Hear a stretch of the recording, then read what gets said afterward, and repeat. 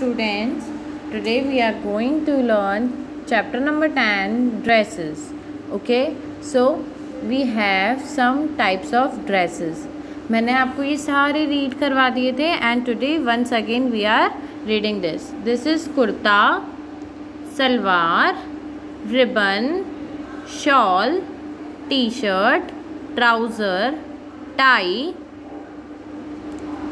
jacket gloves cap, jeans, shirt, socks. Here is also socks. Belt, shoes, sandals, sweater, jacket, frock cap blouse and sari okay अब अपन को differentiate करना है कि इसमें से कौन से वुमेन पहनती है और कौन से मैन पहनते हैं। आपको पता है मम्मा क्या वियर करती है? मम्मा साड़ी वियर करती है है ना?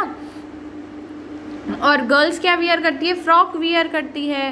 बट जेंट्स क्या वियर करते हैं? Trousers shirt T shirts tie okay shoes belt so ये हमारे ड्रेसेस हो गई कि कौन से बॉयज़ वियर करते हैं, कौन से गर्ल वियर करते हैं, ठीक है? नाउ नेक्स्ट अपने पास क्वेश्चन आंसर्स हैं। आज हम ये करेंगे।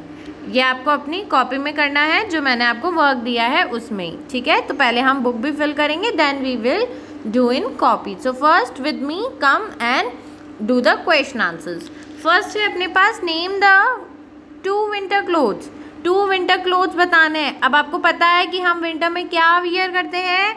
एक तो हम कैप वियर करते हैं ओके okay, विंटर में हम कैप वियर करते हैं जैकेट पहनते हैं स्वेटर पहनते हैं। तो आपको यहाँ पे जैकेट की स्पेलिंग लिखनी है. जी J A C K E T jacket C A P cap J A C K E T jacket is a frock a dress of a girl and boy अच्छा फ्रॉक एक girl पहनेगी या boy पहनेंगे?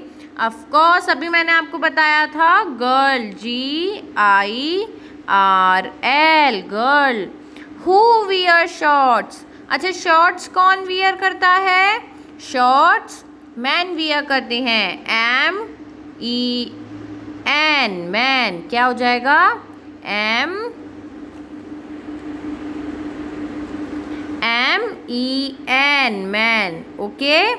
So by this we have completed our dresses topic ठीक है? तो एक बार आप भी घर पे वियर रिवाइज करना then we will come to the next chapter okay? Thank you.